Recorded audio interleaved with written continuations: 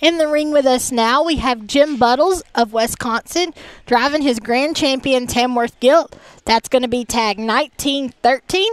Jim has a pair of littermates that were champion and reserve Tamworth Gilts. This first one here is going to be Ultra 23.5 on Deuce on Zohan on Bentley. The Dam's littermate brother was champion Mel Tamworth at the 2021 Fall Classic. The Bentley sow in the pedigree is Furry's mother.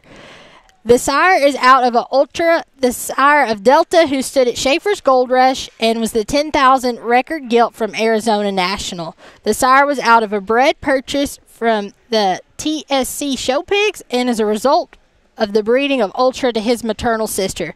So we've got some line-bred Tamworth gilts here with some excellent pedigrees. This female out in the ring is one you really just appreciate as far as her refinement goes. A gilt with a lot of nice looks. So this was our champion Tamworth gilt tag number 1913 from Jim Buttles of Wisconsin.